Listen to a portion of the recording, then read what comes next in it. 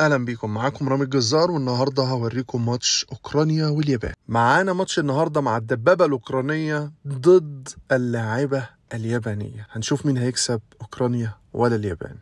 هنا في الأول الحكم بيقول لهم استعد.